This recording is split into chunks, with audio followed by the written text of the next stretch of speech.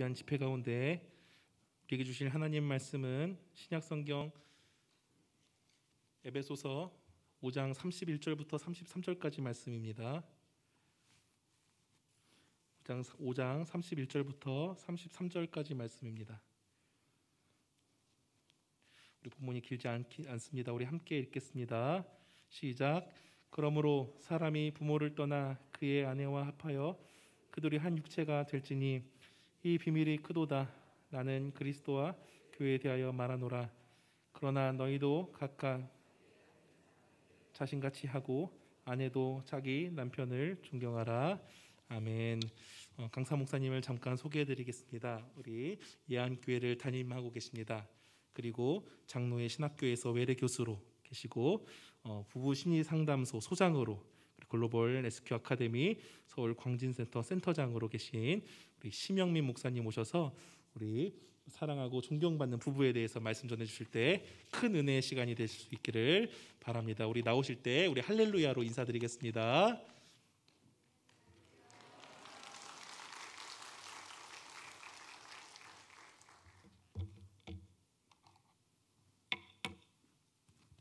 잠시 기도하겠습니다. 아버지 감사합니다. 저희들 귀한 자리에 불러주시고 금요 성령 집회를 통해서 주의 뜻을 나눌 수 있도록 도우셔서 감사합니다. 성령께서 임하시고 치유하시고 하나님의 뜻을 분별할 수 있는 복된 시간이 되게 하시고 이 시간 저와 함께 이 나눔을 통해서 한 가지라도 더 주님의 뜻을 발견할 수 있는 복된 시간이 되게 하여 주시옵소서. 예수님 이름으로 기도하옵나이다. 아멘. 예, 너무 반갑습니다. 그 PPT 띄워주시면 감사하겠고요. 어, 제가 지금 이제 부부 상담 전문가로 지금 여기 자리에 섰는데요. 과정을 조금 말씀을 드리면 제가 원래는 처음에 이 청소년들 사역에 굉장히 관심이 많았어요. 아이들이 가정에서 얼마나 많이 힘들었는지 밖에서 이제 발산을 하는 거죠. 사고도 치고 또 구치소에도 가 있고 이런 아이들을 만나면서 이 아이들을 어떻게 도울 수 있을까? 그래서 이 아이들 열심히 상담하고 좀 회복돼서 집으로 보내면 얼마 안 돼서 또 가출했다고 얘기 나오고 또 뭐 이렇게 티켓 빨아가지고 또, 또 구치소에 있다고 얘기가 들어오고 이런 일이 반복이 돼서 고민을 하다가 원인을 찾았어요. 가족이 문제가 되니까 아이들이 이 문제가 발생하게 되더라고요. 그래서 가족 치료 쪽으로 방향을 돌려서 열심히 공부를 했어요. 공부를 했는데 근본적인 부분에서 뭔가 해결이 안 되는 거예요. 그래서 봤더니 부부 관계가 건강하지 않으니까 가정이 건강하지 않고 가족들 전체가 건강하지 않다 보니까 아이들에게서 그런 문제가 발생하게 되더라고요. 그래서 어떻게 하면 부부 관계를 좀 더 건강하게 세울까 해서 이제 어, 목회 상담학 박사 과정까지 공부하면서 부부 상담을 위한 프로그램 프로그램도 만들고 또 상담소를 통해서 사람들을 돕고 또 이혼 위기에 있는 가정들을 돕고 하는 이 사역을 이렇게 시작하게 되었고요. 그렇게 모든 과정을 겪고 오면서 어떻게 하면 부부 관계를 건강하게 세울 수 있을까? 제가 좀 절실하게 느끼게 된 그 계기가 뭐냐면 상담소에 오는 부부들이 있어요. 이 부부들은요. 처음에 올 때 이렇게 회복되기 원해서 오는 게 아니라 우리 부부는 안 되겠죠. 이혼해도 되겠죠. 허락을 맡으러 와요. 그러니까 이혼 결정하고 상담소에 오는 거예요. 와가지고는 이 사람은 이런 잘못했고 이 사람은 이런 잘못했고 막 쏟아붓고 싸워요. 어떤 부분은 제 앞에서 소리 지르고 40분 동안 싸워요. 지켜봐요. 싸워요. 그분들의 메시지는 그거죠. 우리 안 되겠죠? 저는 그 얘기 하죠. 안 되겠으면 저 상담 안 해요. 회복될 마음이 있으면 상담 받으시고 그렇지 않으면 그냥 가세요. 그렇게 한다면 상담을 이렇게 진행을 하거든요.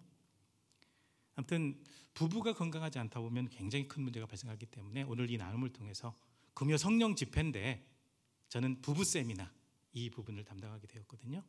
제가 가지고 있는 어떤 노하우 또 어, 현장에서 얻었던 많은 것들을 함께 나누는 시간이 될 텐데 나누시면서 여러분에게 작게나마 도움이 되기를 간절히 바라고요. 하나님께서 여러분들의 삶과 여러분들의 가정을 만져 주시기를 간절히 바랍니다. 아멘. 그 저는 항상 시작하기 전에 삼행시를 먼저 하거든요.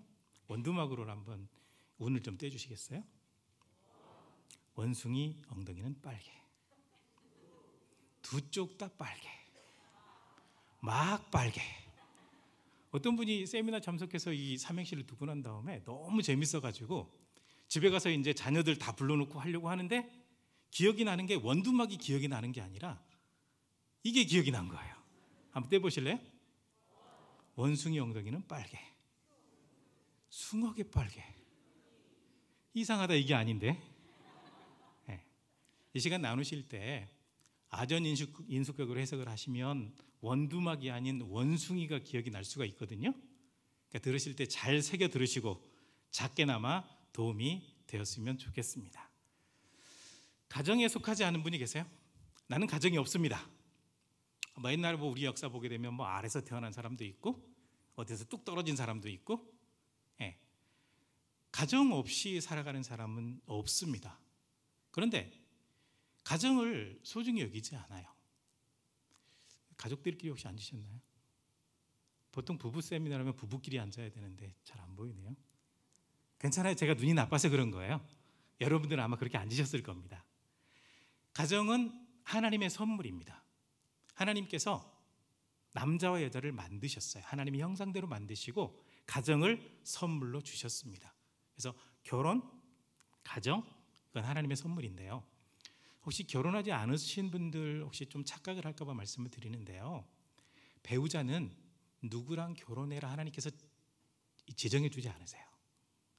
배우자는 하늘에서 뚝 떨어지는 게 아니고 꿈에 나타나게 되고 아무개랑 결혼해라 이렇게 말씀하시는 게 아니라 내가 전적으로 선택하는 거거든요. 근데 어떤 분들이 그냥 하나님께서 배우자를 선택해 주는 줄 알고 누군가 다가오면 뻥뻥 찼어요. 하나님께서 선택한 사람은 돌아오겠지. 시간 지나니까 40대가 됐는데 혼자 있어요. 열심히 걷어찼더니 없어요.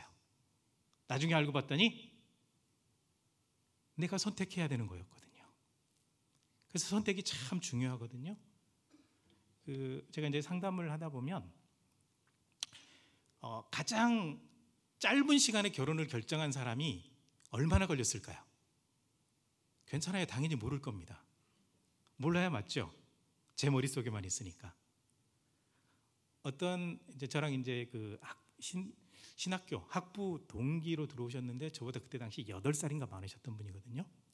이분이 굉장히 존경하는 목사님 소개로 한 자매를 만났는데 결혼을 얼마 만에 결정했냐? 딱한 시간 만에 결정했어요. 차 마시고 앉아 있다가 딱 한 시간 만에 일어서면서 나 바빠서 가야 되는데 나랑 결혼할 거요 말 거요? 이거 자매도 아주 이렇게 존경하는 목사님이 소개를 했으니까 결혼하겠습니다. 네, 잘 살고 있어요. 네, 잘 살면 문제가 되지 않죠? 근데 이 결혼을 굉장히 빨리 결정하는 바람에 굉장히 어려움에 처한 사람들이 많이 있거든요. 그래서 너무너무 좋았어요.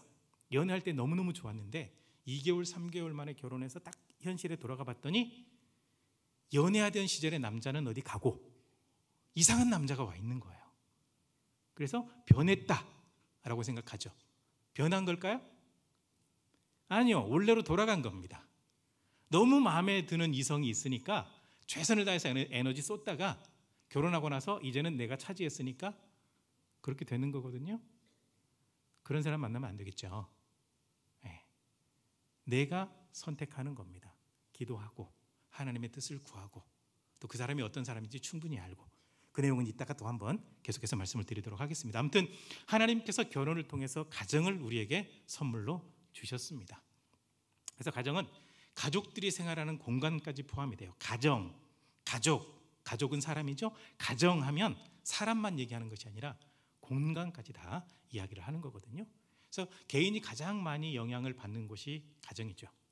다양한 경험들을 하게 되죠. 정서적으로 안정을 누릴 수 있죠. 라고 말씀을 드리면 아니요, 그렇지 않은데요. 그 청소년 아이들이나 이제 그 초등학교 고학년 아이들 상담하다 보면요. 제가 이제 가정에 들어가는 패턴을 살펴보거든요. 가정을 들어가는 패턴을 살펴보게 되면 안정된 가정인지 아닌지 딱 느낄 수가 있는데 정서적으로 안정되지 못하고 좀 가정이 불편하다고 느끼는 아이들은 최대한 가정에 늦게 들어가려고 합니다. 친구들하고 논다든지 놀이터에서 다른 데서 시간을 보내고 최대한 늦게 들어가서 가족들과 짧, 짧게 만나고 잠자리에 드는 걸 선택을 하거든요. 그러니까 가정은 개인이 안정을 누릴 수 있는 장소입니다라고 얘기를 하게 되면 많은 분들 아, 많은 아니겠죠 여기 계신 분들이야 뭐 행복한 가정이니까 근데 제가 만난 사람들 가운데 많은 분들이 아니요 저는 그것을 느껴보지 못했습니다. 안정이요? 그렇지 않습니다. 지옥을 경험한 사람도 있기 때문에 가정은 행복한 곳입니다 안정적인 곳입니다 좋은 곳입니다라고 말씀드리기가 어려워요. 각자의 경험에 따라서 가정의 모습은 다양하기 때문에 그렇습니다. 그러면 가정이 건강해야 된다고 생각하는데 건강이라고 할 때 다른 거 다 빼고요. 개인적인 건강이라고 할 때 가장 먼저 떠오르는 거는 신체적인 건강을 얘기를 할 겁니다. 그 사람 건강해요? 네, 건강합니다. 신체적으로 건강하다라는 얘기거든요. 그러면 신체적인 건강만 이게 완벽한 건강이냐? 그렇지 않습니다. 제가 상담을 하다 보면 이제 알코올 중독자도 만나고요, 마약 중독자도 만나고 그 다음에 이제 그 사람과의 관계 속에서 관계 중독자도 만나거든요. 관계 중독의 형태가 여러 가지가 나타나요. 혹시 이제 데이트하는 사람들 가운데 누구랑 이렇게 좋은 관계를 맺고 있는데 다른 사람 연락 못하게 하고 연락처 끊게 하고 나만 바라봐. 가스라이팅의 전 단계가 바로 그 부분이거든요. 그렇게 될 때 그 사람은 관계 중독일 가능성이 굉장히 크고요. 관계 중독의 굉장히 심각한 형태 가운데 하나가 성적인 문란이에요. 관계 속에서 뭔가 채우려고 시도를 하게 되거든요. 그런 부분이 있기 때문에 건강하다라고 하면 신체적인 건강만 얘기하는 것이 아니라 여기 나와 있는 대로 신체적으로, 정신적으로, 사회적으로 평안하냐, 건강하냐 이 부분까지 체크하는 거거든요. 그러니까 여러 부분까지 이 세세한 부분까지 문제가 있다라고 한다면 건강하다라고 표현하기 참 어렵습니다. 그러니까 개인의 건강도 신체적인 부분, 정서적인 부분, 관계적인 부분까지 체크를 하는 거죠. 그리고 건강한 가정이라고 하면 똑같아요. 가족원들이 신체적으로, 그 다음에 관계적으로, 정서적으로, 그 다음에 신앙인의 가족이라고 한다면 신앙적으로 건강하냐. 어, 여러분 속한 교회가 와 우리 교회죠.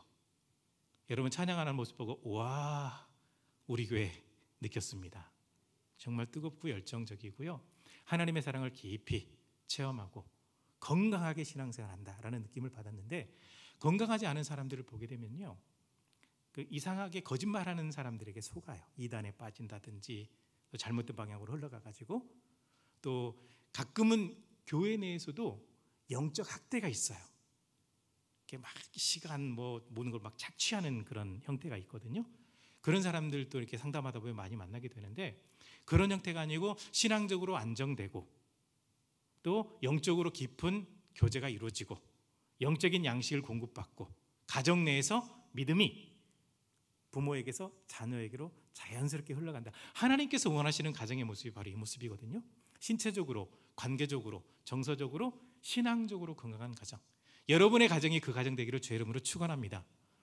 하나님 앞에 아름다운 모습으로 세워지는 그 가정이 귀하게 쓰임 받거든요. 그래서 저는 가정이 건강해야 교회가 건강하고 교회가 건강해야 그 지역 사회가 건강하다라고 늘 말씀드리고 있, 습니다 근데 그에 앞서서 개인이 건강한 것도 굉장히 중요합니다. 아무튼 신앙인들의 가정도 보게 되면 건강하지 않은 가정이 너무 많아요. 참 이 마음이 아플 정도로 건강하지 않은 가정들이 많거든요. 2016년도에 제가 이제 2014년도에 박사학위를 받았고요. 그다음에 이제 상담도 하고 이제 강의도 하고 그렇게 진행하는데 장신대 장로의 신학대학교 기독교 교육연구원 거기에서 이제 교육교회라고 하는 이게 그 월간지 이렇게 출판을 하거든요. 거기에서 2016도 16년도 가정의 달을 맞이해서 어떻게 하면 건강한 가정을 세울 수 있을까라고 이제 고민을 하면서 건강한 가정을 만들기 위한 긴급 처방을 좀 예, 상담 관련돼서 써주면 좋겠습니다. 해서 그 글을 썼는데 제가 이 다섯 가지를 예, 포함해서 내용을 정리를 했습니다. 그래서 건강한 가정이 되기 위해서는 부부 관계가 건강해야 돼요. 그 다음에 부모 자녀와의 관계가 건강해야 되고 가정에서 성경을 나눌 수가 있어야 됩니다. 그 다음에 가정이 소그룹이 돼야 되고 그 다음에 참 안타까운 것 가운데 하나는요. 30분 동안만 진행되는 결혼식 준비는 정말 최선을 다하는데 지금은 이제 100세 시대잖아요. 30세에 결혼하면 한 배우자하고 70년을 살아야 돼요. 괜찮으시겠어요? 좀 장수하면 80년. 그러니까 이 긴 시간 동안 결혼 생활을 해야 되는데 결혼 생활에 대한 준비를 안 하는 사람들이 정말 많더라고요. 그래서 결혼 예비 부부 상담을 통해서 어떻게 결혼 생활을 준비해야 될까? 이 부분을 세워야 된다 라고 처방을 내리면서 핵심은 뭐냐? 이 가운데 가장 중요한 것은 바로 부부 관계의 건강입니다. 부부 관계의 건강이 굉장히 중요하죠. 그 조금 학문적으로 말씀을 드리면 체계론이 있고 관계론이 있거든요. 체계론에서는 부부 체계, 부모 자녀 체계, 자녀 자녀 체계. 관계론에서는 부부 관계, 부모 자녀 관계, 자녀와 자녀와의 관계. 그래서 가장 중요한 관계가 뭐라고 말씀드렸죠? 부부 관계입니다. 부부가 건강하지 않으면 굉장히 어려움들이 많거든요. 근데 확대 가족, 확대 가족이 부부를 계속해서 위협하고 있어요. 언제 그 부부가 넘어질지 몰라요. 깨질지 몰라요. 지금 제가 상담을 진행하고 있는 커플들이 꽤 있는데요. 그 중에 상당수가 지금 이혼을 고려하고 있습니다. 저는 하나님 앞에 기도하면서 어떻게 하면 회복시킬까에 초점을 맞추고 있는데 그분들은요 어, 가정 폭력이 있고 그 다음에 가정에서 성적인 문제가 있고 또 시댁과의 갈등이 너무 심각해서 거의 학대 수준에 놓여 있고 그런 상황이 되다 보니까 어떻게 하면 이 관계를 정리하지 고민하는 사람들이 많아요. 그런 상황이거든요. 그러니까 확대 가족, 다른 가족들이 부부 관계의 건강성을 지금 굉장히 위협하고 있습니다. 그 제가 이제 맨 밑에 써놓은 건 이제 제가 그 믿지 않는 부부 상담했던 사례인데요. 제가 이제 믿지 않는 사람들도 상담하는 이유가 있습니다. 저는 상담의 이 목적이 그저 상담을 통해서 개인의 어떤 마음을 치유하고 부부 관계를 치유하고 가족 관계를 치유하고 이걸로 끝나는 게 아니라 그렇게 하고 난 다음에 불신자들에게는 반드시 복음을 전합니다. 복음을 전해서 그러니까 복음을 제가 간략하게 또 설명하는 법이 있어요. 그래서 창조부터 시작해 가지고 예수 그리스도 어, 이제 이 땅에 오셔서 구원하신 그리고 이제 재림하실 내용까지 다 포함해 가지고 복음을 전해요. 복음을 전하고 이제 예수님을 여러분이 선택하든 안 하든 여러 분의 자유입니다. 그런데 그리스도 안에는 영생이 있고 그리스도가 없으면 영생이 없습니다라고 분명히 전해서 보내요. 그 목적으로 상담하는데 이 부부도 그 목적으로 만났어요. 전혀 믿지 않는 그런 부부거든요. 근데 문제는 뭐냐면 홀로 된 어머니가 아들을 이렇게 외아들을 키웠어요. 외아들을 키웠는데 부부 얘기를 쭉 이렇게 듣다 보니까 시어머니의 남편이 아들이에요.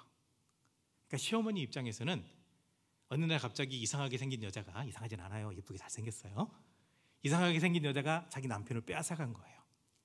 그래가지고 결혼 생활하는 내내 시비 걸고 또 남편 출근만 하고 나면 엄청난 시집살이 시키고 아들에게는 야 저런 여자하고 이혼해라 이혼해라 시어머니가 나서서 그래서 시어머니랑 분리시키고 부부 독립시켰어요. 건강하게 만들어 놨어요. 회복이 됐어요. 첫 아이 있었는데 그대로 끝낸다 그랬는데 둘째 아이 생기고 잘 살고 있었어요. 제가 계속해서 경고했거든요. 시어머니가 또 친어머니가 개입하지 않도록 조심해라. 상담하고 1년 반 지났는데 시어머니가 다시 개입하고 그것을 대처하지 못해서 결국은 이혼했어요. 그러니까 부부 관계를 위협하는 거는 두 사람 관계에도 물론 문제가 있을 수 있지만 확대 가족 또 부모님들이 개입하게 될 때 그런 어려움이 굉장히 많이 발생하더라고요. 자, 그래서 가족주의적인 사고는 굉장히 위험합니다. 그래서 이제 이렇게 말씀을 드리면 여러분들이 조금 오해할 수 있어요. 결혼했으면 부모님이 1번이 아니고 배우자가 1번입니다. 부모님 버리세요라는 얘기는 아니거든요. 자, 10계명 중에 제 5계명 아시는 분? 시작. 네, 다 아시죠? 네, 기본으로 다 아실 겁니다. 내 부모를 공경하라. 부모님 공경하는 건 당연합니다. 그런데 배우자를 배제한 상태에서 부모님을 공경하게 되면 효도하는 건 좋지만 부부 관계는 깨질 위험성이 굉장히 높아집니다. 깨진다고 안 했어요. 위험성이 높아진다 그랬어요. 계속해서 완력 싸움을 해야 되거든요. 계속해서 신경전을 해야 되거든요. 그런 일들이 굉장히 많이 발생하게 되거든요. 그래서 이 결혼했을 때 가족이라고 한다면 어떻게 해야 될 것인가? 가족관과 연관이 되거든요. 결혼하신 분들 가족하면 어디까지 떠오르세요? 예, 밑에 사례가 나오죠. 이, 이 사례는요. 이 양쪽 부모님이 다 교회 중직이세요. 그리고 이 그 형제와 자매는요 어렸을 때부터 교회에서 쭉 성장을 해왔어요. 계속 믿음 안에 성장해 왔고 또 같은 믿음을 가지고 있는 사람을 찾았기 때문에 같은 교회에서 다른 부서 교사하고 있었는데 한 분은 시골에서 올라왔고 한 분은 이제 예, 도시에서 성장하신 분이거든요. 소개받아서 결혼을 했어요. 결혼을 했는데 가족관이 달랐던 거예요. 남편이 가지고 있는 가족관은 뭐냐? 가족하면 무조건 자기 어머니 아버지가 포함이 돼요. 자기 어머니 아버지가 포함이 되는데 장인 장모님 포함이 안 돼요. 그렇게 형성이 돼 있어요. 근데 아내분 같은 경우는 가족하면 자기하고 남편하고 아이예요. 그래서 이제 우리 가족 식사 합시다라고 하면 아내 입장에서는 남편에게 그냥 우리 세 식구 외식 한번 합시다라고 얘기를 했는데 가족 식사 합시다 하면 부모님을 꼭 모시고 와요 남편이. 그래서 싸웠어요. 아니 우리끼리 저 식사 좀 하자고. 야, 우리 부모는 가족 아니냐? 라고 싸우기 시작한 게 아이 하나 놔놓고 차 안에서 열심히 싸우다가 핸들 꺾기 직전까지 갔던 심각한 예, 가족관이 문제가 되는 거예요. 그래서 이 부분도 조정을 해야 되거든요. 그래서 남편의 가족관을 조정을 했습니다. 왜냐하면 부부 관계 속에 부모님이 개입하게 되면 굉장히 어렵거든요. 그래서 부부 중심으로 사고 전환시켜 가지고 회복이 됐어요. 그래서 둘째도 낳고 지금 잘 살고 있어요. 부모님이 개입되지 않고 그 부분이 해결이 되니까. 근데 아무튼 부모님들이 개입, 개입되게 되고 확대 가지고 개입되니까 굉장히 어려워져요. 그러다 보니까 한국은 가족주의적인 사고, 이게 굉장히 좀 위험한 사고거든요. 좋기도 해 좋은 것도 있어요. 근데 부부가 함께 마음이 똑같아서 같이 하면 괜찮은데 서로 가치관이 달랐을 때 그 부분에 대한 생각이 달랐을 때는 굉장히 위험해질 수가 있거든요. 이 부분을 바로잡는 게 일단 중요하거든요. 그래서 핵심으로 들어가야 됩니다. 부부 관계가 건강하지 않으면 다른 건 없어요. 한번 보세요. 두 사람이 결혼해서 잘 살아요. 아들 딸 낳고 잘 살아요. 여기저기 여행도 다니고 또 명절이 되면 가족들도 찾아다니고 잘 살아요. 예. 잘 살고 있으면 별 문제가 되지 않습니다. 그렇죠? 그런데 두 사람이 건강하지 않아요. 못 살고 있어요. 그러면 거기서부터 이제 문제가 발생하게 되는 겁니다. 굉장히 어려워져요. 그래서 두 사람이 싸우다 싸우다 싸우다 더 이상 못 살겠다고 해서 이혼을 하게 되면 어떤 일이 벌어지냐면 가족이 해체되는 겁니다. 해체돼요. 미국에서 이런 얘기가 나왔습니다. 네 애하고 내 애하고 우리 애, 우리 애 때린다. 무슨 말인지 알아요? 이 사람도 이혼을 했는데 아이가 있었고 이 사람도 이혼했는데 아이가 있었고 아이들 데리고 재혼했는데 둘 사이에서 아이가 태어났어요. 네 애랑 내 애랑 우리 애 때린다 이, 사, 이 사건이 나오는 거죠. 가족이 해체되는 거예요. 그러면 아이들에게는 엄마가 둘 되고 아빠가 둘 되고 굉장히 어려워지죠. 그 다음에 시부모와의 관계, 처가의 관계 다 깨지는 거예요. 그러니까 부부 관계가 건강하지 않으면 모든 관계가 싹 해체돼 버리거든요. 이 부분 잘 생각하셔야 돼요. 지금 결혼 생활 하시는 분들 혹시 그런 갈등이 있는 분들이 있을 겁니다. 결혼을 앞두고 있는 분들 어떻게 해야 될지 고민하는 분들이 있을 겁니다. 부부 관계가 이 부부 중심으로 배우자 중심의 사고로 전환되지 않으면 큰 어려움이 있고요. 만약에 부부가 잘 살지 못하고 이혼을 하게 되면 자녀들이 영향을 받아요. 밑에 있는 거 아마 제 얘기 들으면서 다 읽으셨을 겁니다. 이런저런 문제가 발생할 수밖에 없는 거죠. 그래서 제가 이제 책을 쓰면서 아직 완성은 못했어요. 책을 쓰면서 이제 어, 처음에 서, 서론을 뭘로 잡을까라고 생각을 하다가 어렸을 때 읽었던 동화가 생각이 나는 거예요. 신데렐라, 백설공주, 공주파치 잘하는 동화잖아요. 동화의 마지막 결말이 뭐죠? 희한하게도 모든 동화가 결혼식으로 끝나요. 맞죠?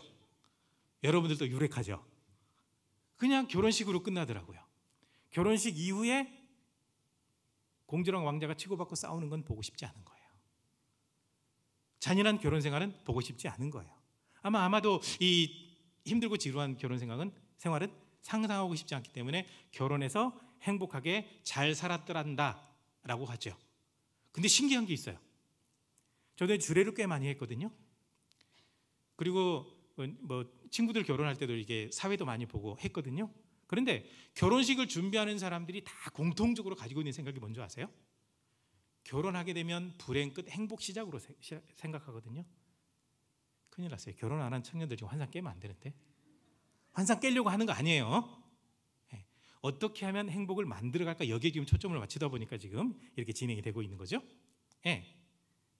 아무튼 결혼의 현실은 굉장히 현실입니다. 맞아요. 느껴보셨을 겁니다. 너무 힘든 현실이거든요. 그래서 결혼에 대해서 너무너무 예, 부정적인 생각을 가지고 있는 사람들이 있어가지고 요즘 이 젊은 세대들 가운데 비혼주의자가 나오고 있거든요. 그 비혼 아니에요. 그 성경적이지 않아요. 사탄의 속임수예요. 사탄의 속임수는 교묘함, 교묘합니다. 그동안은 수많은 이단들이라든지 잘못된 어떤 진리를 전하는 사람들 동원해가지고 자기들 끌어가다가 안 되니까 애 낳지 않으면 기독교 끝나거든요. 그죠? 맞죠? 결혼하신 분들, 예, 열심히 아이 낳으세요. 결혼 안 한 분들, 결혼하셔야 돼요. 하나님께서 만들어 놓은 창조 질서거든요. 자, 이 사진의 공통점은 뭐죠? 같은 방향을 바라봐요. 여러분, 그 두 사람이 서로 사랑에 빠지면 님이 되죠. 님. 님을 나무로 만드는 방법이 뭔지 아세요? 점 하나만 딱 찍으면 되죠. 그 점이 뭐냐면요. 계속해서 찌르는 거예요. 이것도 고치려고 하고 저것도 고치려고 하고. 그러니까 그 데이트할 때는 괜찮아요. 데이트할 때는 단점도 안 보이고 좋은 점만 보이거든요. 근데 결혼하고 나면 희한하게도 저것만 고치면 될 것 같아요. 그죠? 결혼하신 분들 다 공감하죠? 저것만 고치면 좀 더 나을 것 같은데? 그래서 자꾸 점을 찍어요. 그러다 보니까 멀어져요. 그러니까 부부는 서로 바라보면서 자꾸 뭔가를 고치는 게 아니라 같은 방향을 바라볼 수 있어야 되거든요. 같은 방향을 바라보기 위해서는 배우자 중심의 사고로 전하는 것이 굉장히 중요합니다. 사랑의 유효 기간이 있어요. 옥시토신이라고 하는 이게 그 뭐 큐피트가 화살을 쏜다고 하잖아요. 그게 아니고요. 호르몬이 나와요. 이 호르몬은요. 어, 좀 조심해야 될 게 뭐냐면 자꾸 접촉하잖아요. 자꾸 만나고 접촉하게 되면 이 호르몬이 분비가 돼요. 그래서 사랑에 빠질 가능성이 굉장히 높아요. 그 옛날 우리나라 그 전래동화 비슷한 거 같은데 주먹집 아시죠? 주먹집 잘 모르세요? 아, 저만 아는구나. 예. 한 동네에 어떤 노총각이 있었어요. 노총각이 어느 집 여하인인가 너무 예쁘니까 굉장히 못생기고 나이 든 노총각이 늘 나 누구야 나 누구야 계속 그랬어요. 근데 이 처녀는 너무 싫은 거예요. 그 두꺼비 닮아가지고 야 예, 마음에 안 드는 거죠. 자기가 원하는 배우자상이 아니거든요. 그런데 일이 벌어졌어요. 그 부잣집에 금두꺼비가 사라졌어요. 그래가지고 그 여자가 도둑으로 몰렸어요. 도둑으로 몰리니까 그걸 모면하려고 그 총각한테 뒤집어 씌웠는데 그 노총각이 모든 걸 다 덤터기를 쓰고 물어내고 또 처벌받고 어디로 사라졌어요. 그리고 시간이 지나고 난 다음에 장롱 밑에서 금두꺼비가 나왔어요. 그렇게 되니까 주인이 너무 미안해가지고 그 요정을 자유인으로 풀어줬어요. 돈도 주고 풀어줬어요. 그러고 난 다음에 이제 이 여인이 자기를 너무 좋아했던 그 남자, 자기 대신 도둑 누명을 쓰고 모든 책임을 졌던 그 남자를 찾으려고 주먹집을 차렸어요. 이렇게 손만 꺼내가지고 이렇게 술을 따라줘요. 공짜로 따라줘요. 그래서 그 사람을 찾는 이야기가 나오고 있거든요. 그러니까 아무튼 많이 접촉하다 보니까 싫기는 싫었지만 시간이 지나고 난 다음에 진심을 알게 되니까 그런 일이 발생하게 됐거든요. 그 옥시토신이라고 하는 것은 어디서 어떻게 발산될지 몰라요. 근데 이게 유효 기간이 있거든요. 굉장히 짧아요. 그래서 짧게는 3개월, 길게는 3년. 그래서 결혼한 지 3개월에서 3년 안에 이혼하겠다고 하는 부부들이 많은 거예요. 이게 사랑 호르몬이 사라지고 식어지고 나니까 결혼의 현실이 보이기 때문에 그런 일이 벌어지게 되거든요. 그래서 어떻게 하면 하나님께서 원하시는 들이 가정을 잘 지켜나갈 수 있을까? 그래서 성경에 보게 되면 하우스타펠이라고 이제 독일어로 얘기하는데 가정률이라고 하는 말씀이 굉장히 많이 나와요. 그래서 하나님과의 관계에서 영적으로 굉장히 깊어지고 사랑이 깊어지는 것참 중요한데 그만큼 또 중요한 게 뭐냐면 부부 간에도 가족 간에도 사랑이 깊어지는 것이 너무 중요하거든요. 그래서 하나님께서 구약의 말씀, 신약의 말씀에 가정에서 가정률 어떻게 하면 이런 부분을 잘 세워나갈까? 라고 하는 말씀 가운데 아까 읽었던 이 부분 말씀은요 부부 관계가 어떻게 하면 좀 더 건강할 수 있을까라는 거죠 그래서 제목이 제가 33절에서 가져온 겁니다 사랑과 존경 사랑하고 존경하는 부부가 되면 하나님께서 원하시는 뜻을 이루게 되거든요 그러면 어떻게 하면 사랑하고 존경하는 부부로 성장해 나갈 수 있을 것인가 첫 번째는요 결혼 생활을 배우자를 진주로 만드는 과정이라고 알고 있어야 돼요 자, 누가 현숙한 여인을 찾아 얻겠느냐? 그 값은 진주보다 훨씬 비싸다라고 이야기를 하죠. 근데 왜 현숙한 여인을 진주로 하나님께서 비유해서 말씀하셨을까라는 거죠. 조개입니다. 똑같은 조개인데 진주 조개는 진주를 만들고 일반 조개는 진주를 만들어내지 못합니다. 이유는 단 하나죠. 진주 조개 같은 경우는요, 이게 이동을 하다 보면 도끼발 같은 거로 이동을 하거든요. 많이 이동을 못 해요. 그 가끔 그 조개를 잡았을 때 이 껍질을 벗기면 그 안에 조그만 개가 나오죠. 혹시 본 적 있으세요? 어촌에서 성장하신 분들? 그 개는 왜 있는 줄 아세요? 조개가 잡아먹은 게 아니에요. 작을 때는 다른 뭐 물고기나 여기에 이제 개가 잡아먹히잖아요. 조개가 넣어서 보호해주고 그 다음에 이 개가 안전하게 성장하면 조개가 멀리 못 가니까 이 조개를 개가 물어가지고 좀 예, 공생하기 위해서 이렇게 있는 거거든요. 그렇게 있는데 아무튼 조개는 멀리 이동을 못 해요. 조금만 이동하게 되는데 이동하려면 입을 벌리고 이동을 해야 되거든요. 혹시 여러분들 이렇게 뛰어가면서 입 벌리고 가본 적 있으세요? 입 벌리고 안 가죠? 뭐 들어올까 봐. 입 벌리고 이동하게 되니까 이물질이 많이 들어와요. 보통 일반 조개들은 이물질을 다 이게 뱉어내 버리거든요. 근데 진주조개 같은 경우는 들어오게 되면 자기 몸에서 분비물을 이렇게 뿜어내면서 감싸 안아요. 그래서 가장 이 값진 진주는 어디서 나오냐면요. 가장 혹독한 환경 속에서 성장한 진주족에서 나와요.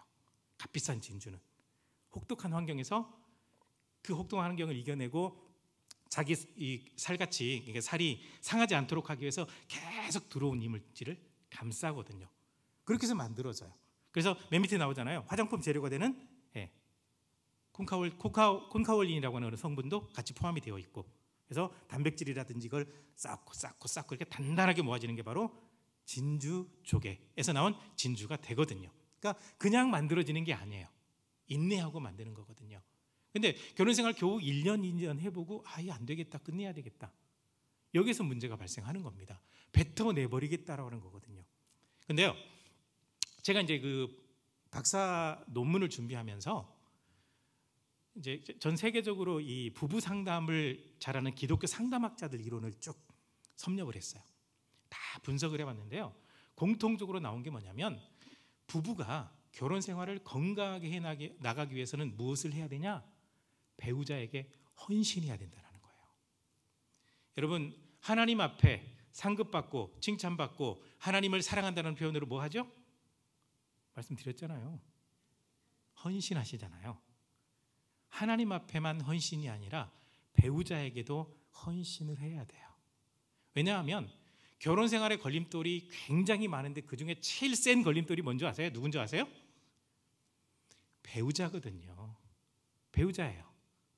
남편이라고 해놨더니 진짜로 남의 편이에요. 네. 아내라고 했더니 아무것도 안 해요. 문제가 돼요. 나를 위해서 뭘 해야 되는데 안 해준단 말이에요. 남의 편이란 말이에요. 걸림돌이란 말이죠.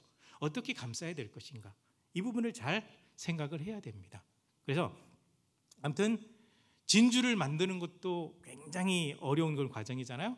그러니까 배우자를 진주로 만드는 과정이 바로 결혼 생활에서 헌신해야 되는 과정이거든요. 어떻게 헌신할 것인가? 그 부분은 뒤에 이제 가면서 하나씩 하나씩, 등장하게 될 겁니다. 근데 배우자를 자꾸 멀리 하거든요. 지금 혹시 그런 형태의 가정의 모습을 가지고 있다고 한다면 조금 생각을 해보셨으면 좋겠습니다. 자녀들의 교육을 위해서 기러기 되신 분들 열정 가지고 하는 것 참 좋습니다만 부부 상담 학자로서 입장에서는요 저는 반대입니다. 눈에서 멀어지면 어떻게 되죠? 마음에서 멀어지게 되어 있습니다. 아이들 뭐 중학교 고등학교 때만 나와도 나가도 꽤 긴 시간인데 초등학교 때나 유치원 때 미리 보내요. 언어도 적응해야 된다고 보내요. 15년, 20년 떨어져 살았습니다. 부부인 줄 아십니까? 남남이 돼요. 기러기 부부들이 그래서 이혼이 굉장히 많습니다. 위험합니다. 그리고 또 한 가지요. 같은 집에 살면서도 부부 관계가 조금 불편하니까 자꾸 아이들에게 관심을 가고 아이들에게 에너지를 쏟아요. 배우자는 내놓은 사람이 돼요. 그렇게 쏟아요. 시간 지나면 어떻게 되죠? 아이들이 계속해서 머물러 있나요? 떠나게 돼 있습니다. 떠나고 나면 두 사람이 애정은행에 저축해 놓은 게 아무것도 없어요. 어떻게 될까요? 멀어지게 되는 겁니다. 그래서 조론이 나오고 황혼이혼이 나오고 있는 거거든요. 조론이 말이 그럴싸하죠. 그거 별겁니다. 별거 하는 거예요. 말만 그럴싸한 거죠. 전혀 아름다운 모습이 아니거든요.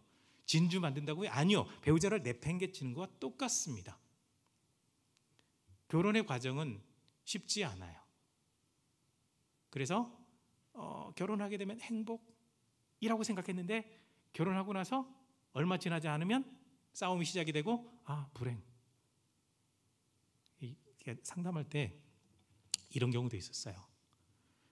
예전에 그제 얘기가 아니고요. 내담자 얘기예요. 예전에 교회에서 제가 참 인기가 많았거든요. 그 중에 저를 참 좋아하는 오빠가 있었는데 제가 그 오빠랑 결혼했으면 어떻게 됐을까요? 어떻게 됐을까요? 여전히 이 자리에 있을 겁니다. 누구랑 결혼을 해도 어려울 수밖에 없죠. 왜 그런 줄 아세요? 두 사람 문화가 완전히 달라요. 그 뒷부분에 얘기할 테니까 그때 좀 자세히 말씀드리겠습니다. 완전히 다르기 때문에 그걸 맞춰가는 과정이 인내하고 감싸고 끌어안고 하는 그 과정이거든요. 그러니까 결혼 생활은 그냥 행복이 쭉 이어지는 게 아니라 배우자를 진주로 만드는 과정이에요. 그 과정인 것을 분명히 기억하셨으면 좋겠습니다. 그 다음에요. 사랑하고 존경하는 부부가 되려면 틀린 게 아니라 다른 거거든요. 여러분, 틀린 게 뭔 줄 아세요? 정확하게 정답이 있을 때 틀린 거예요. 다른 거는 뭐예요? 정답이 없습니다. 그건 다른 거죠. 그래서 하나님께서 하나님의 영상대로 사람을 만드셨는데 남자와 여자를 만드셨어요. 완전히 달라요. 근데요, 혹시 레위기 12장 읽어보셨어요? 뜬금없이 레위기를 얘기하니까 잘 모르겠죠.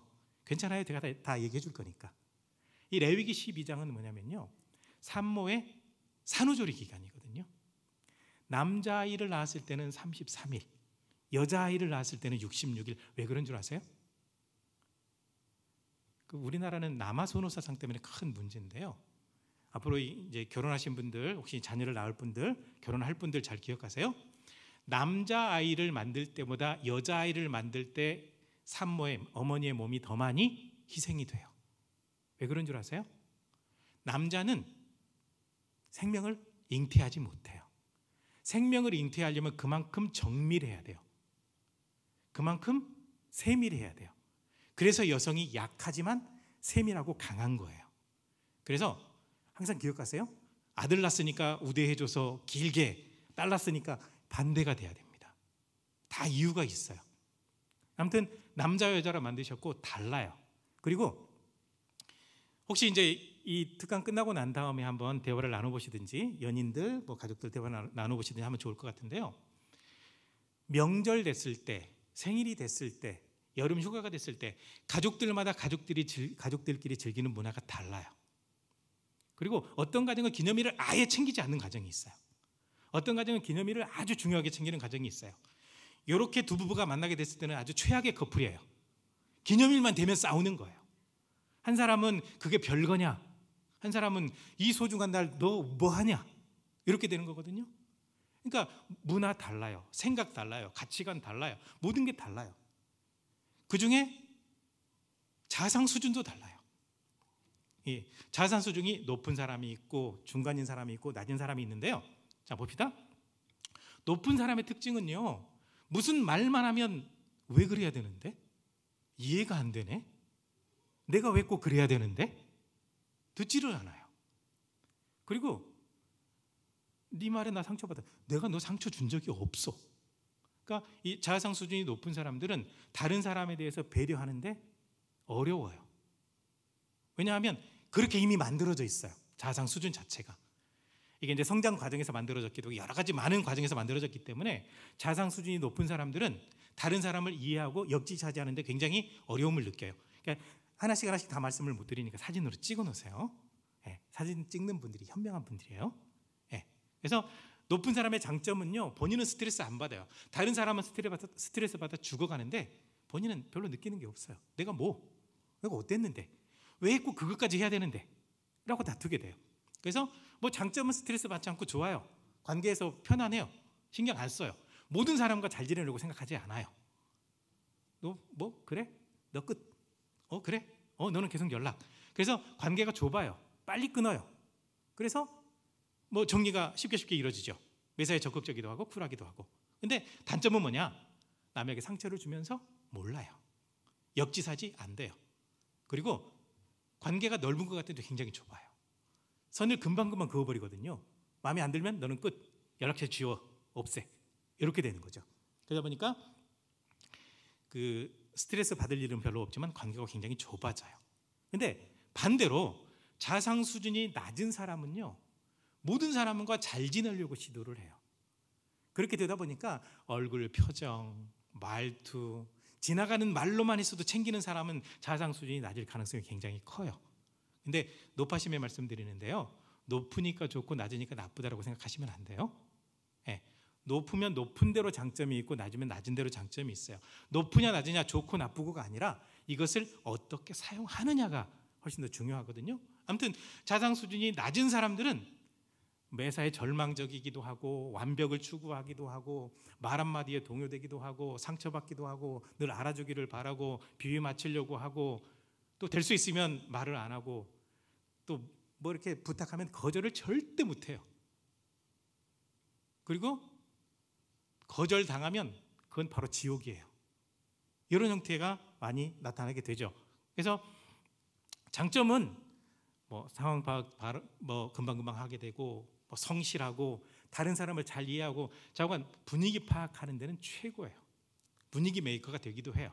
그런데 단점은 뭐냐? 스트레스 굉장히 많이 받아요. 열등감 많이 받아요. 또 특징 가운데 하나가 누군가 만나서 이렇게 대화를 나누는데 침묵이 흐른다. 그 순간 어떻게 해야 되지? 내가 뭐 잘못했지? 왜 말 안 하지? 그 분위기 깨려고 하고 이런 특징이 나타나게 되거든요. 그러니까 스트레스 굉장히 많이 받고 다른 사람 중심이 돼요. 그리고 중간인 사람이 또 있어요. 높은 사람의 특징과 낮은 사람의 특징을 둘 다 가지고 있어요. 굉장히 피곤합니다. 그때 그때 달라진다는 거죠. 그런데 이 자상 수준이 높은 사람, 중간인 사람, 낮은 사람, 이걸로 점수를 매기고 싶지는 않아요. 왜냐하면 이것을 어떻게 사용하느냐에 따라 달라지거든요. 그러니까 자상 수준이 높은 사람들은요, 다른 사람들이 얘기하면, 아, 저 사람 입장에서는 그럴 수도 있겠다라고 가야 돼요. 이해가 되지 않네? 내가 왜 이 부분으로 가게 되면 굉장히 벽이, 벽처럼 느껴지거든요.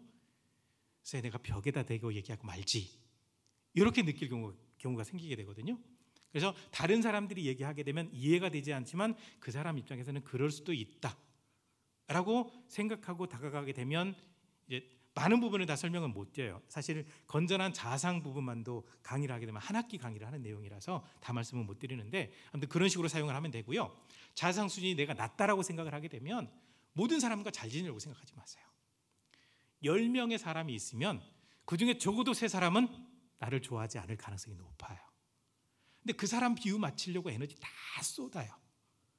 그러는 사람들이 있잖아요. 싫다고 하는데 막 챙겨주고 자기 안 챙겨주면 섭섭하다고 그런 사람들의 특징이요. 다 잘 지내려고 하는 데서 오게, 오게 되거든요. 상처받아요. 어렵습니다. 안 됩니다. 그런데 결혼 생활할 때 자상 수준이 높은 사람하고 낮은 사람이 만나게 되면 굉장히 어려워요. 그래서 여러분의 자상 수준이 어느 정도 되는지 한번 살펴보시고 혹시 자상 때문에 부딪히는 부분이 있다고 한다면 오늘 제 특강을 들으신 분들은 제가 공짜로 자상 수준 체크해 드리고 두 분 어떻게 맞추면 좋을지 말씀드리도록 할 테니까 언제든지 연락 주셔도 좋습니다. 그래서 건전한 자아상을 가진 사람 일곱 가지 특징, 예, 아마 제가 말씀드리는 동안 다 읽어봤을 겁니다.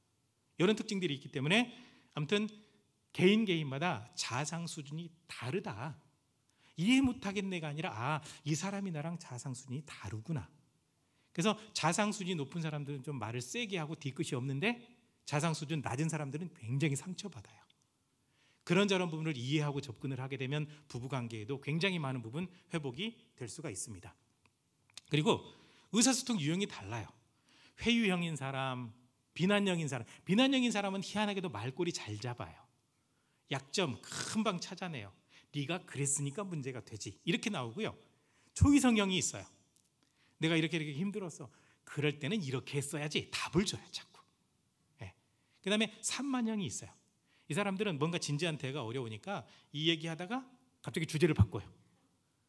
사람 미치고 팔짝 뛸 노릇이죠. 네.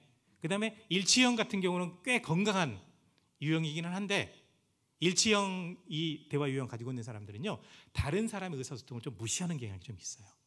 그래서 의사소통 성향이 다르기 때문에 이 부분도 체크하셔서 우리 부부가 남편이 쓰는 의사소통 유형이 뭐고 아내가 뭔지 이 부분을 체크해 가지고 그 부분을 예, 커버해 나가는 게 필요하고요. 그 다음에 문화적인 부분이 달라요. 아까 말씀드렸던 부분이에요.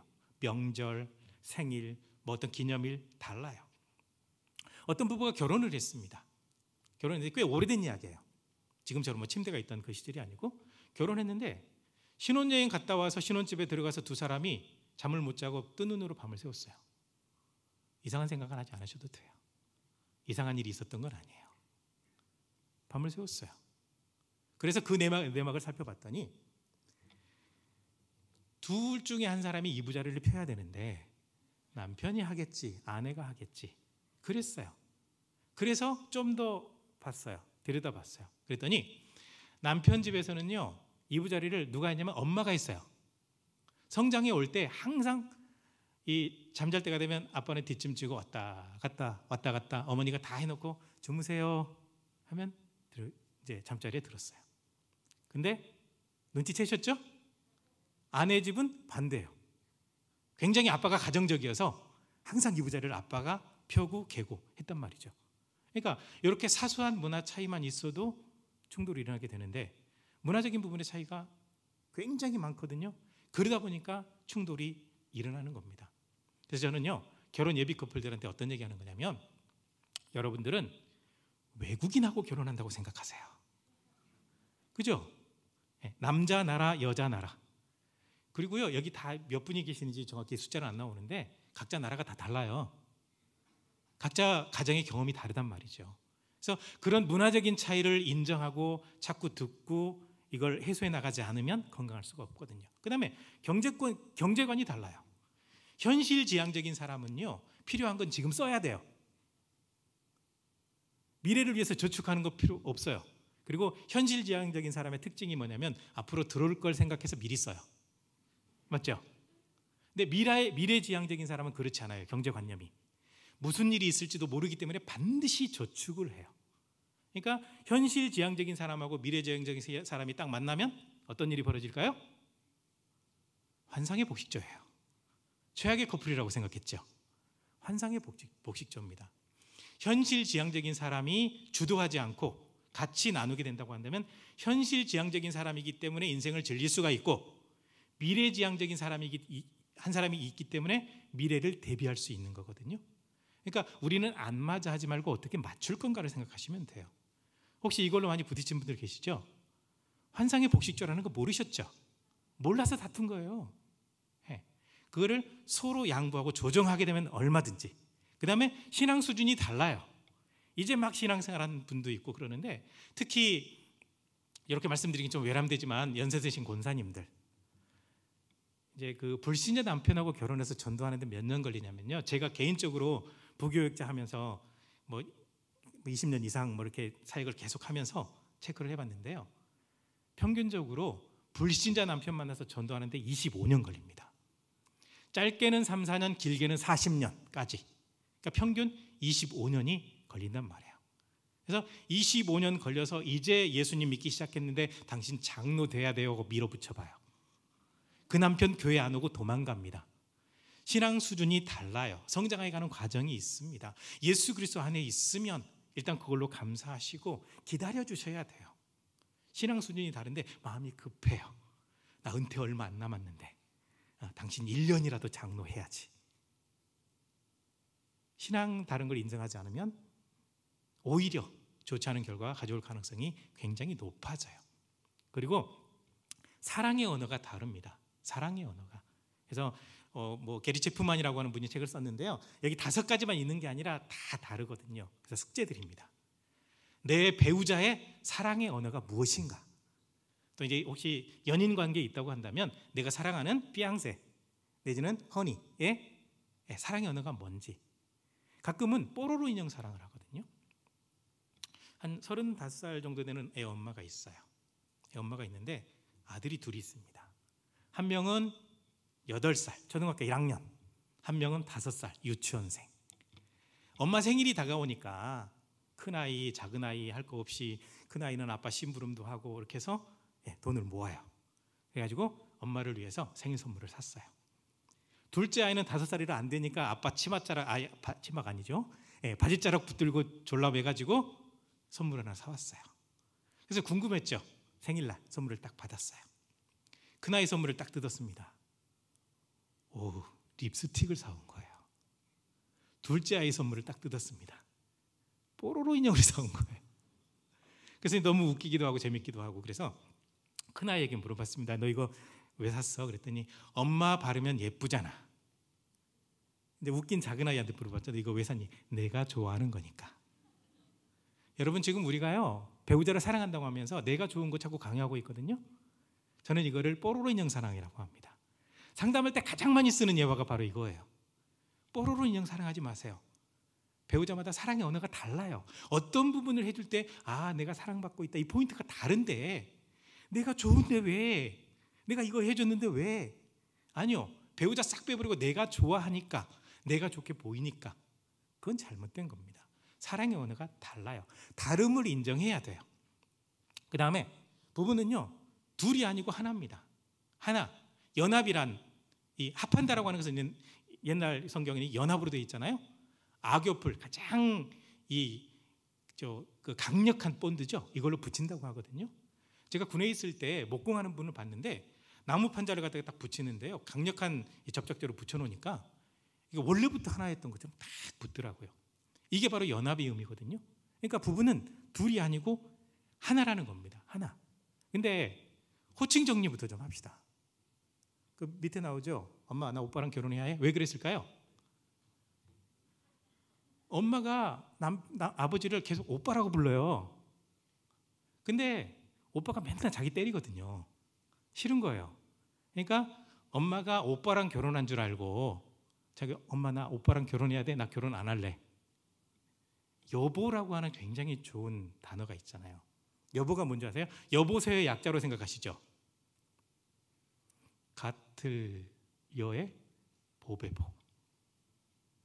보배와 같다라는 표현인데 좀 씁시다. 그 상담하다 보니까 어떤 분이요. 참 말하기도 좀 민망하네. 야 남편이 자기 여자 동창 동생이랑 결혼했어요. 결혼해가지고 거의 40년 넘게 사는, 사시는데 안수 집사님이고 권사님이신데 야 교회에서 같이 봉사하다가 야 사람들이 쫙 민망해서 혼났다 그래요. 제가 호칭 정리해드렸습니다. 누구 씨라고 부르라고. 예. 저건 둘이 하나라는 사실을 알 필요가 있는데요. 부부의 추원수는 무촌입니다. 20살 차이 나는 부부 상담해봤는데요. 열받으니까 20살 어린 아내가 야 네가 어땠는데 나와요. 이상하세요? 안 이상해요. 부부거든요. 하나거든요. 무촌이거든요. 촌수가 없습니다. 둘이 하나예요. 자꾸 계급 만들지 마세요. 남자는 하늘, 여자는 땅이라고요. 성경에는 그렇게 나오지 않습니다. 하나요. 이 사실 분명히 기억하시고요. 5월 21일 부부의 날인 거 아시죠? 날짜가 벌써 지났어요. 안 지났으면 숙제를 내드렸을 텐데 내년 숙제 부부의 날 애들 다 떼놓고 두 분만 반드시 오붓한 시간을 보내시기 바랍니다. 5월 21일 둘이 하나. 계급이 없어요. 둘이 하나라는 사실 분명히 기억하는 것이 굉장히 중요하고요. 성경에서도 나옵니다. 자, 그럼 질문 하나 드릴게요. 대답은 안 하셔도 돼요. 어려운 문제입니다. 율법이 뭐죠? 굉장히 어려워요. 신앙생활 그동안 오랫동안 했는데 율법이 뭐냐고 물어보면 모르겠거든요. 율법은 간단합니다. 세 가지예요. 하나님 사랑하는 법, 나 사랑하는 법, 이웃 사랑하는 법. 배웠죠? 예, 수강료 내세요. 비싼 거예요? 예, 율법 나오죠. 이것을 예수님께서 간단하게 정리하셨거든요. 율법 최고의 율법이 뭡니까? 하나님 사랑, 이웃을 나를 사랑하는 것처럼 사랑. 그거예요. 하나님 사랑, 자기 사랑, 이웃 사랑. 여기 때 한 몸이라고 하는 거는요. 아내를 나를 사랑하는 것처럼 사랑해야 돼요. 남편을 나를 사랑하는 것처럼 사랑해야 돼요. 그래서 배우자를 학대하는 거는 결국은 내가 나를 학대하는 거와 똑같습니다. 그 다음에요. 부부가 종, 사랑하고 존경하는 부부가 되려면 네 번째로 배우자 말을 듣고 행해야 돼요. 여러분 신앙생활 시작했던 그 과정을 한번 보시면요. 처음부터 예수님을 믿었다라고 하는 분은 별로 없을 거예요. 그죠? 처음에는 지식적으로 이해를 하는 겁니다. 교회 와서 예배도 드리고 성경 공부도 하고 제자 훈련도 하고 이런저런 훈련도 받고 아버지 학교 어머니 학교도 하고 헌신자 학교도 하고 훈련을 받으면서 계속해서 주님에 대해서 알아가요. 알아가는 과정이 있죠. 알아가다 보면 어느 순간 감정이 생겨요. 내 마음에 믿음이 생기는 거예요. 확신이 생겨요. 이 확신이 딱 들어오게 되면 더 이상 이제는 주님을 떠날 수 없어요. 그래서 제가 주님과 살겠습니다. 라고 다짐하고 세례 받는 거예요. 이 세례가 하나님과 영적으로 결혼하는 거예요. 주님과. 그죠? 예. 네. 그래서 알아가는 과정이 필요하고 그 중에 감정이 생기고 그 다음에 떠나지 않게 되죠. 이 원리가 결혼의 원리도 똑같습니다. 처음 만났을 때 하는 거 있잖아요. 나이는 어떻게 돼요? 취미는 뭐세요? 호구조사하고 그러고 난 다음에 알아가다 보니까 대화도 되고 마음도 따뜻하고 가정 얘기 들어봤더니 가정이 화목한 것 같고 그렇게 되면서 조금씩 조금씩 마음이 열리면서 이제 사랑에 빠져요. 사랑이 빠지게 되면 이제 더 이상 떨어져 살 수가 없기 때문에 밤마다 2시간, 3시간 전화 통화하는 거 힘들어요? 그만합시다. 결혼합시다. 그래서 결혼하게 되는 거죠. 결단하는 겁니다. 예, 이 과정을 거치게 되어 있어요. 그런데 신앙생활도 그렇고 결혼생활도 그렇고요. 알아가는 과정 거치고 알게 되고 이제 결단을 했어요. 그러고 난 다음에 하나님의 말씀을 듣지 않고 모르고 하나님의 말씀대로 행하지 않으면 어떤 일이 벌어지죠? 신앙이 쳇바퀴 돌아요. 쳇바퀴 돌면서 어디에 관심을 갖냐면 어떻게 해야 안수 집사 권사가 될 수 있지? 어떻게 돼야 장로가 될 수 있지? 계급에 관심을 가져요. 계급이 아닌데. 그렇게 되다 보면 하나님의 말씀과 깊이 들어가서 영적으로 돼야 되는데 그게 되지 않다 보니까 인간적인 모습이 돼서 교회를 깨뜨린 사람이 정말 많게 돼요. 제가 아까 담임 목사님이랑 대화를 나누면서 참 놀랬습니다. 하나님과의 관계에서 얼마나 훈련을 잘 받으셨는지 장로님들, 교회 장로님들이 자랑해도 된다고 해요. 아주 헌신하시는 분들이더라고요. 맞아요. 그 모습이 돼야 됩니다. 왜 그렇게 됐냐? 목사님을 통해서 훈련받고 특히 말씀 훈련을 잘 받고 말씀대로 순종하게 되니까. 그죠? 교회가 평안하죠? 네. 처음 목사님 한 100명 정도 목회하시다가 지금 재정만 5천 명이 넘는 교회가 됐잖아요. 성장하게 됐죠? 예. 네. 듣고 행하니까. 결혼 생활도 마찬가지입니다. 배우자의 말을 들어야 돼요. 배우자 말을 듣고 행해야죠. 행하는데 배우자 말을 들었을 때 반응을 잘해야 됩니다. 어떤 반응이냐? 뭔가를 요구를 했을 때 세 가지로 대답을 분명히 해줘야 돼요. 그냥 넘어가면 안 돼요. 특히 아내가 이거 합시다라고 말을 했는데 아무런 대답하지 않았다. 아내는 어떻게 받아들일까요? yes로 받아들입니다. 남자들이 착각하죠. 내가 생각하고 있으니까 이거 이해하겠지. 아니요. 아무 말 하지 않으면 yes로 받아들일 가능성이 굉장히 높아요. 그래서 당신 지난번에 얘기했잖아. 들었지? 왜 안 했어? 나 대답 안 했잖아. 아니, 그때 한다고 했잖아. 내가 언제? 기억력 가지고 또 싸워요. 이렇게 되는 거거든요. 그렇게 하지 말고요. 말을 듣고 실천하는 거 굉장히 중요한데 말을 들었으면 당장 할 수 있는 것은 오케이. 그렇게 합시다. 조금 시간이 필요한 거는 알겠는데 나에게 시간을 좀 줘요. 안 되는 거는 아 이건 안 될 것 같아요. 정확하게 표현을 해 주세요. 그래야 아 내 말을 듣고 있구나라고 느끼는 거지. 그렇지 않으면 안 듣는 사람이 되거든요. 그러니까 듣지도 않아요, 행하지도 않아요. 굉장히 많이 문제가 발생하게 되거든요. 그래서 아무튼 잘 듣는다라고 하는 것이 굉장히 중요합니다. 맨 밑에 사례가 나와요. 그런 형태의 결혼 생활을 해왔거든요. 그래서 남편이 자기를 완전히 무시한다고만 생각을 했어요. 근데 남편은 원래 말이 없는 사람이고 생각이 많은 사람이었거든요. 그래서 남편은 상담을 안 한다고 해서 아내만 와서 상담을 했어요. 상담해서 쭉 체크를 해봤더니 일단 개인 상담하면 개인의 문제를 먼저 보잖아요. 아내가 요구하는 게 굉장히 많은데 다 합리적이에요. 그래서 합리적이긴 한데 남편이 준비가 안 된 것 같습니다. 일단 남편 한번 들어보고 남편의 마음대로 한번 체크해 보세요. 그랬더니 그 나오죠 밑에 남편의 말을 웃으면서 들어주고 그러니까 자기가 원하는 걸 남편에게 먼저 실행을 했던 거예요. 그 다음에 걸음걸이도 맞춰주고 이렇게 했더니 아내가 어느 순간 달라진 거예요.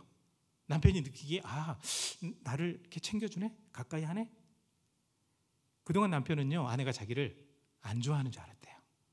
하도 쌀쌀 맞고 고치려고만 하니까.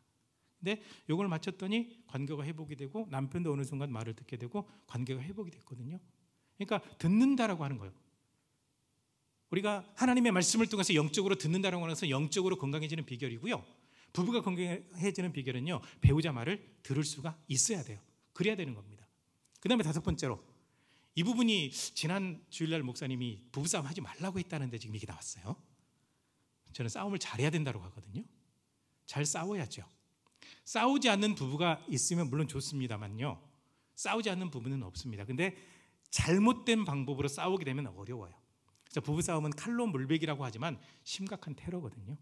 엄청난 테러예요. 나는 벽을 때렸을 뿐이야. 라고 주장하죠.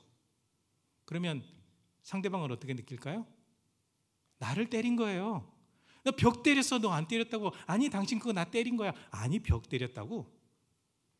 그러면 가해자와 피해자 입장을 입장인데 누구 입장에서 이 폭력에 대해서 얘기를 하죠? 폭력에 대해서 얘기를 할 때는요 피해자의 입장입니다. 피해자 입장에서 봐야 되거든요. 그래서 요즘은 그냥 부부싸움은 칼로 물베기가 아니라 심각한 테러가 되거든요. 그래서 싸우길 잘해야 돼요. 잘 싸워야 되는데요. 싸울 때 좀 경청을 하세요. 너무 폭발해 버리지 말고 배우자가 가장 화내는 일이 있어요.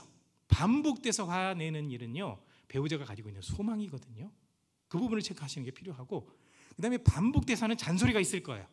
그것도 배우자의 소망이죠. 그 다음에 배우자가 굉장히 섭섭해하는 것들이 있을 겁니다.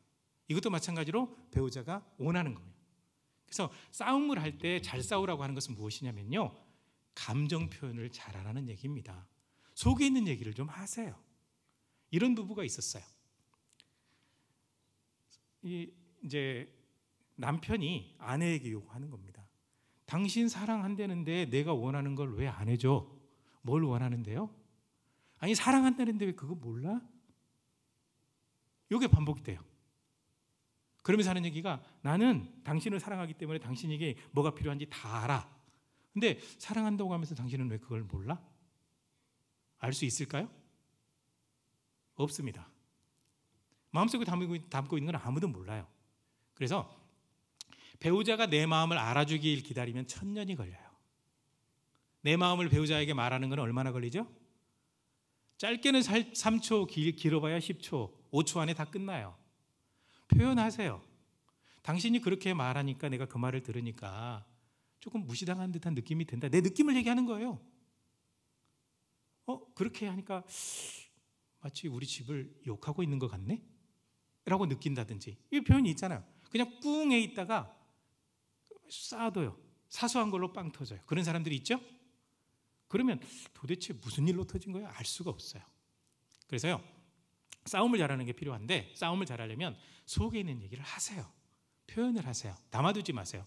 그것이 굉장히 중요합니다. 근데 부부 싸움에 적이 있습니다. 부정적인 상상, 부정적인 자기 대화. 부정적인 자기 대화가 뭐냐면요.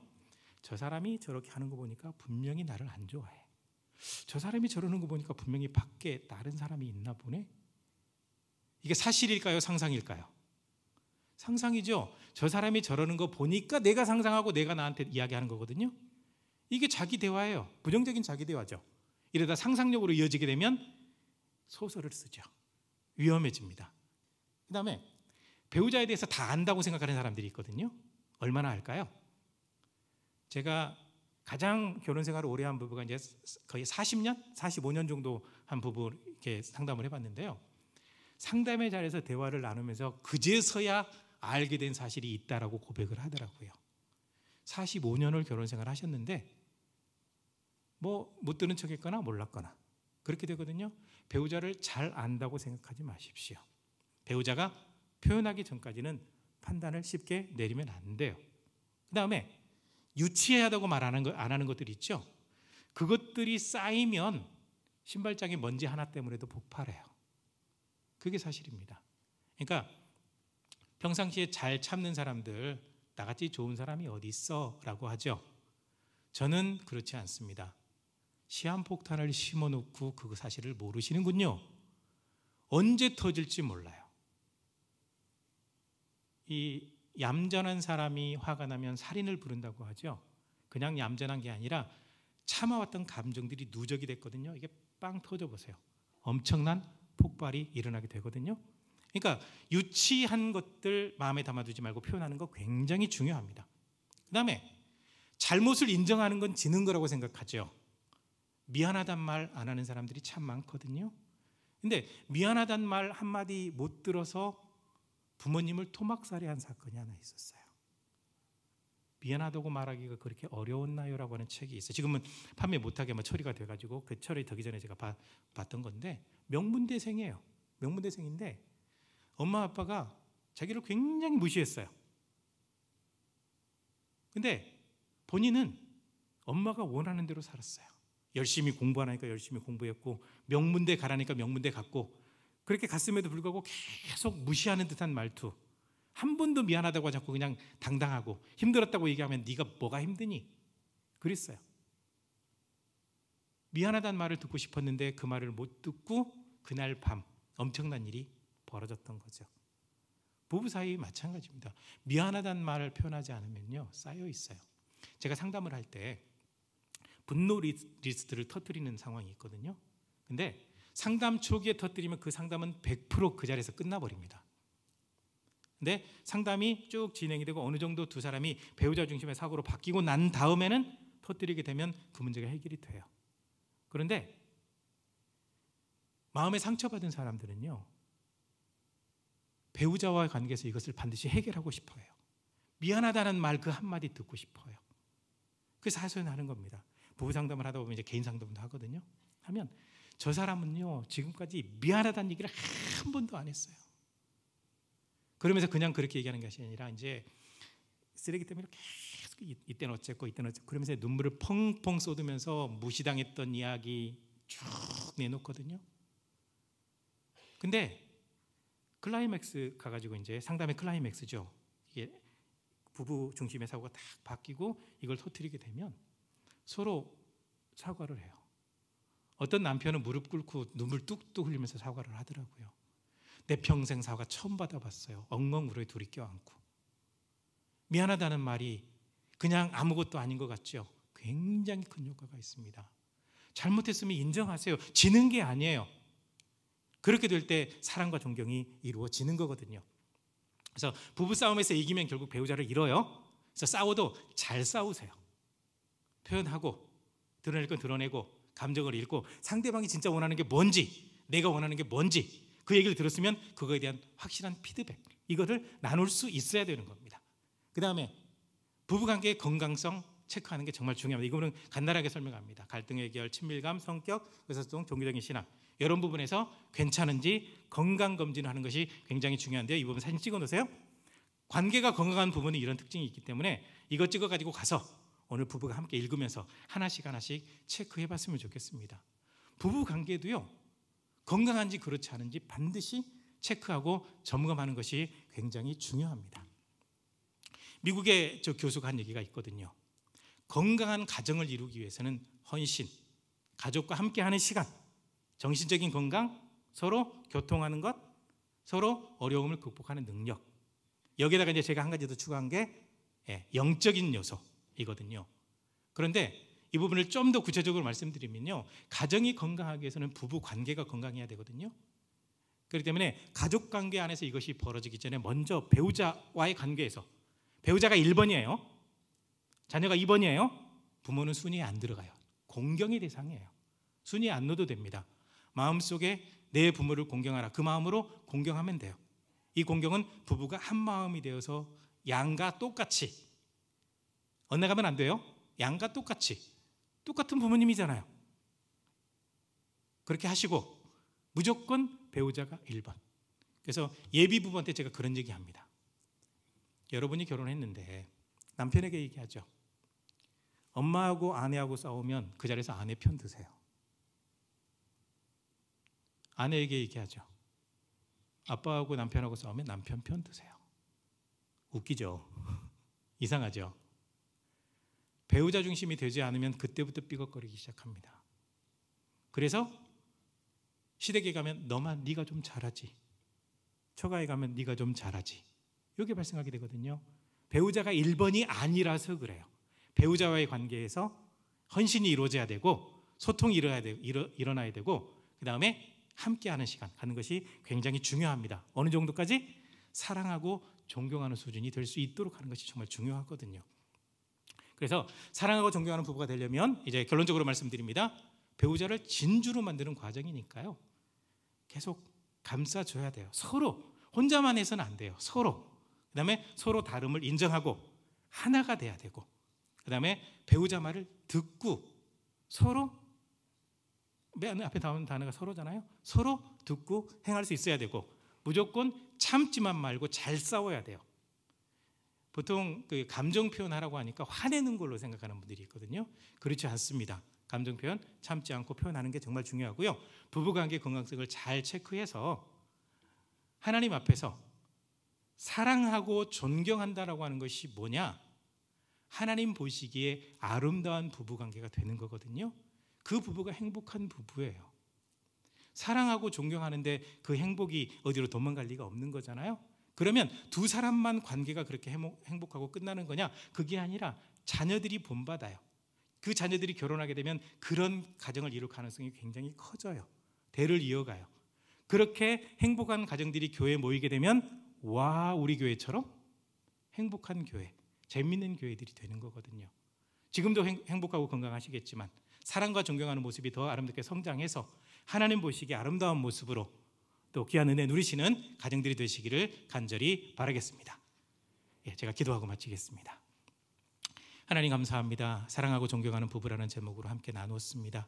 하나님께서 원하시는 모습이 어떤 모습인지 분명히 기억하고 아름다운 모습으로 성장하고 성숙해서 사랑과 존경을 함께 나누는 부부. 가정에도 이것이 풍성해지고 이것이 교회까지 연결되어서 와 우리 교회가 더 풍성해지고 지역 사회를 사랑으로 존경으로 섬길 수 있는 귀한 교회가 될 수 있도록 도와주시옵소서. 예수님 이름으로 기도하옵나이다. 아멘.